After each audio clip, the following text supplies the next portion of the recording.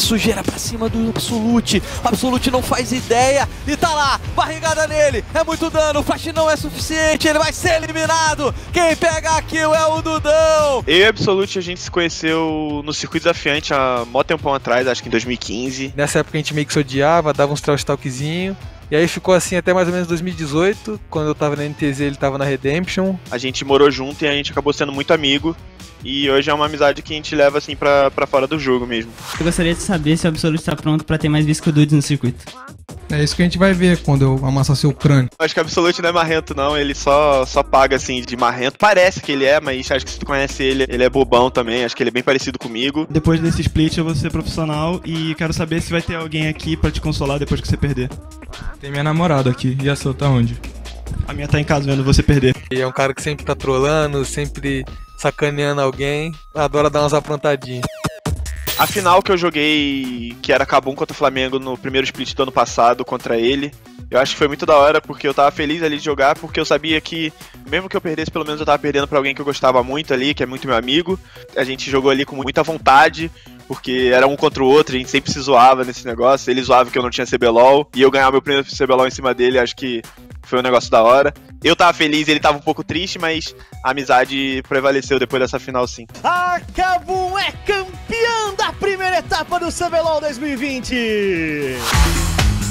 Essa jaqueta do Fluminense é minha, eu sou tricolor aí, o pessoal sabe. Mas aí ele tava usando meu casaco, eu falei, vou tirar essa foto. E aí eu fico zoando ele quando ele entrou no Flamengo com esse casaco.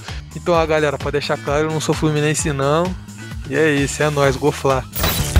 Parangue tá por ali, agora pra tentar fazer aquela entrada lá em cima e aqui embaixo o Absolute garante o abate. Eu acho que o nosso Afélios é bem semelhante, é, eu não acho que o meu é grande coisa, mas ele fica se vangloriando que o dele é muito bom, só que eu não acho nada demais também.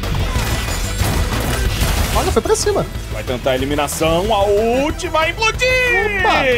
Isso é indiscutível, né? Acho que não tem nem porque nem falar isso. Acho que é óbvio que sou eu. Ele pode ter outros bonecos ali melhor, ele pode ser muito bom, mas óbvio que a Feli sou eu. Não tem, acho que não tem ninguém no Brasil com melhor Feli do que o meu, não.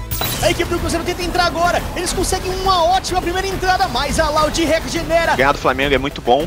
Então a gente vai jogar ali com certeza pra tirar essa vitória deles e a gente vai ver aí qual que, qual que vai ser o resultado. Com certeza, o Gado Dudes tem um gostinho a mais pra dar uma gastadinha nele. Olha, eu já ganhei tantas vezes que.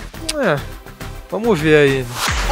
Loud vai se fechando ali o Nexo sobreviveram! Ah, com certeza a tropinha vai amassar nessa batalha das torcidas. Acho que o Flamengo tem uma torcida muito grande, mas não é, não é maior que a tropinha, não. Com certeza na batalha da torcida o Flamengo vai ganhar. Ganhou no primeiro turno e vai ganhar agora de novo. É o Mengão é gigante. Ele vai tentar sair dali vivo, ele consegue! É possível. Vira aqui, vira aqui, vira teamfight! O Flamengo garante a eliminação de Dinquedo. Jogada em grupo!